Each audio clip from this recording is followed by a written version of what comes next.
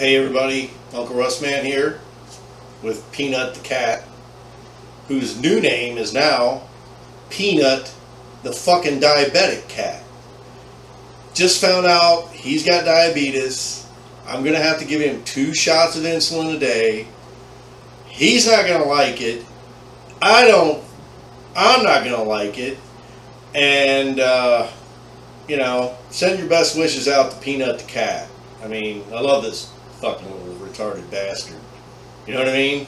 I got a tattoo of him. There's there's a privileged few that have seen my peanut. Eh, Not this my peanut. This my peanut.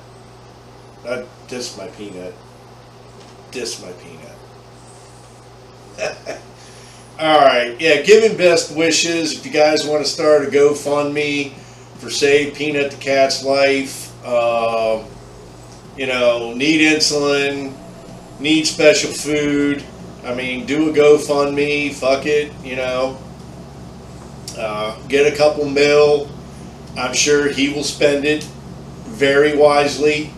He's probably better with money than I am. Peanut, are you better with money than me? Huh?